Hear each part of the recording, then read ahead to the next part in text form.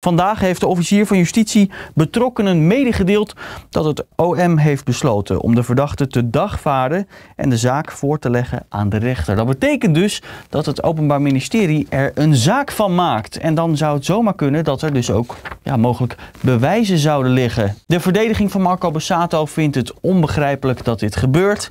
Ook omdat ze zelf een dossier hebben aangeleverd aan het OM, waaruit zou blijken dat Marco Bassato onschuldig zou zijn. Toch kiest het Openbaar Ministerie voor vervolging. Voor deze daad staat maximaal 6 jaar cel.